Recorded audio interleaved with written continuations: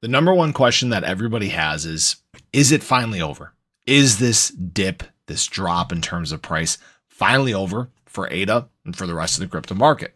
Well, I have to say this. We got some fantastic news for the uh, crypto market yesterday. It's a very big deal. And there are some, I think, much bigger and broader implications when it comes to ADA from this news. Now, as always, this is not financial advice, but I do want to break this down for you guys. So, obviously, ADA has been on the slide here for quite some time. We got pushed down along with the rest of the crypto market. And frankly, we were getting pushed pushed down for no reason. There was nothing to indicate that we were just going to drop here. BTC and the, the broader crypto market showed a little weakness.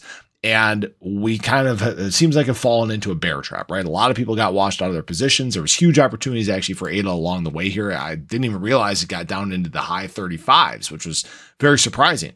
But we've bounced all the way back up to the mid uh, 38 cent range. We're printing a green candle today. That's looking great.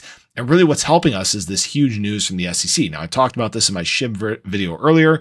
Basically, the SEC is dropping its investigation into Ethereum, kind of essentially giving us a green light for Ethereum spot ETFs, which means that very soon we're going to have this trading from institutional money when it comes to Ethereum spot ETFs. But there is even I think a bigger implication that may come from this is a question of why did they in fact drop their investigation? Is it because we are green light green lighting Ethereum spot ETFs, or is it because they're taking a step back on the crypto industry as a whole?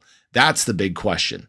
If this is the path, if they are stepping back from from crypto, not as a whole, but in a, uh, if they're taking more of a back seat in this regard, that's actually a huge thing for ADA. Remember, ADA was alleged as an unregistered security, uh, what, way back in June of last year. So it's been almost a year since that happened. And has been mentioned here and there by the SEC, but for the most part, it's kind of been like a fart in the wind. It's gone, right?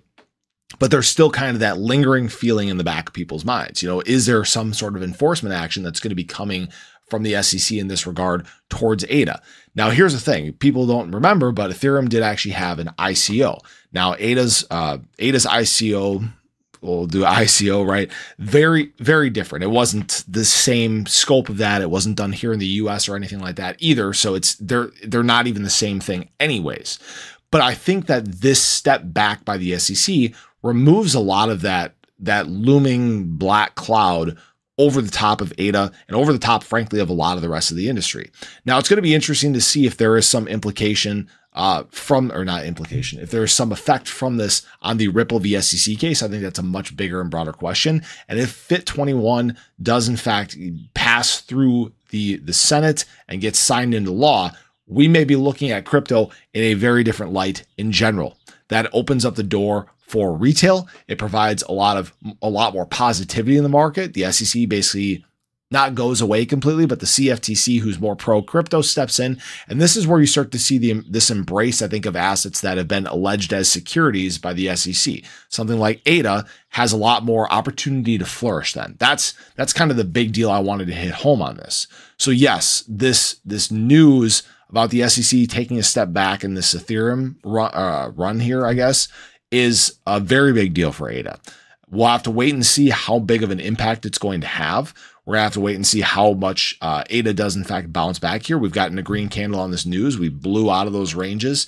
And it's possible now that we may see a, a good back half of the week. We have to temper our expectations and wait and see what happens. But if institutional money starts picking up buying again because of this excitement, because of this, I think, further clarity when it comes to uh, Ethereum spot ETFs, it's it's going to create this this surge of of positivity in the market again. Sentiment's been kind of frankly dog shit.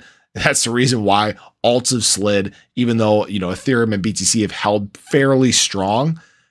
Don't be surprised if we end up seeing a bounce back. This may have been that bear trap, that that washout that we were talking about, you know, possibly happening. And unfortunately, people have been falling for it left and right. So I appreciate you guys as always. I hope you enjoyed the video. Would love to hear your thoughts on this, but have a great day. Show your love below. Catch you guys in the next one. Take care.